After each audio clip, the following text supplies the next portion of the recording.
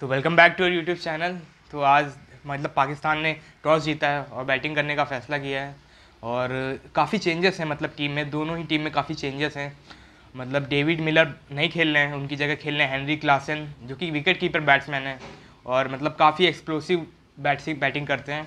और एक और चेंज किया है मतलब पाकिस्तान ने भी चेंज किया है कि उन्होंने जो उनके विकेट कीपर हैं हारिस उनको टीम में ले आए हैं।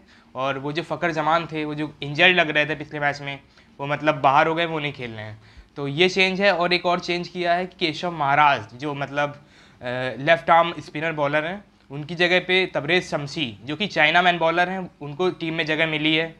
और ये काफ़ी मतलब आ, समझ में नहीं आ रहा कि ये वाला चेंज क्यों किया है क्योंकि स्पिनिंग ट्रैक होने वाला है थोड़ा सिडनी देखते हैं स्पिनर्स को मदद मिलती है कि नहीं।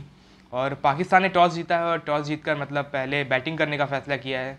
तो देखते कितने मतलब टारगेट कितने का टारगेट रख पाती है टीम और कैसे क्या रहता है। मेरे हिसाब से पाकिस्तान ने अगर टॉस जीता है तो शायद उनके जीतने की पॉसिबिलिटी थोड़ी बढ़ गई है।